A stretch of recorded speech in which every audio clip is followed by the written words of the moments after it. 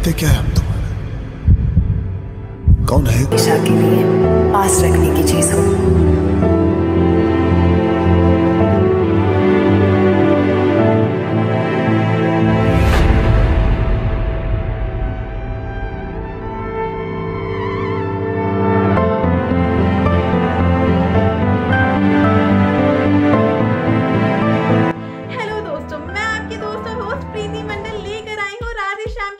Interesting facts आपको बता दें कि हमारी फ़िल्मों में नेगेटिव रोल्स के लिए तो हमेशा से ही कुछ खास जगह रही है।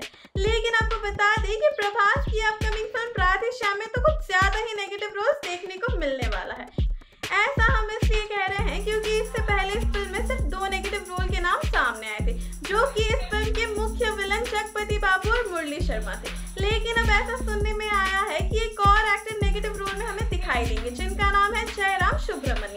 हमें तो ऐसा लगता है कि राधे श्याम मूवी में जितने ज़्यादा विलन की सिर्फ़ एक वजह हो सकती है कि इस फ़िल्म की कहानी को दो हिस्सों में बांट दिया गया है। एक है पास्ट और एक है फ्यूचर तो ऐसे में दो कहानियों में एक विलन हो, ऐसा तो नामुमकिन है। इसलिए इसमें सारे ही विलन दिखाई दे अगर हम बात करें जयराम सुब्रमण्यम की तो उनके रोल के बारे में ऑफिशियली कुछ भी अनाउंस नहीं किया गया है।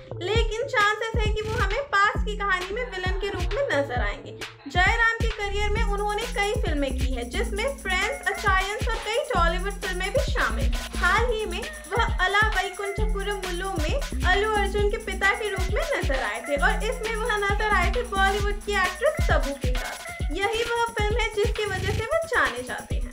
फ़िल्म राधे श्याम एक रोमांटिक फ़िल्म है, लेकिन साथ ही इसमें थ्रिलर की भी कोई कमी आपको नज़र नहीं आएगी। इस फ़िल्म में पहली बार प्रभास और पूजा हेगड़े की जोड़ी नज़र आने वाली है।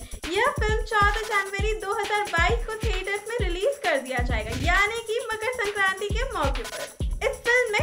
चेत्री भाग्यश्री सचिन खेडेकर और कुणाल रॉय कपूर भी शामिल है, लेकिन उनकी झलक हमें टीजर में तो देखने को नहीं मिली।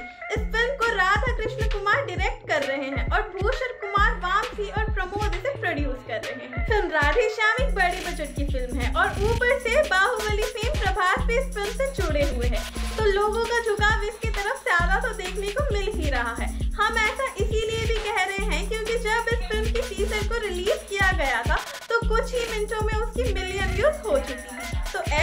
अंदाज़ा तो ज़रूर लगाया जा सकता है कि यह फ़िल्म काफ़ी ही हिट होने वाली है। तो आप लोग कमेंट्स में हमें ज़रूर बताइए कि आप लोग इस फ़िल्म को देखने के लिए कितने ज़्यादा एक्साइटेड हैं। और साथ ही जाते जाते हमारे इस वीडियो को लाइक और शेयर करें और हमारे चैनल बॉलीग्रेड स्टूडियोज को सब्सक्राइब करें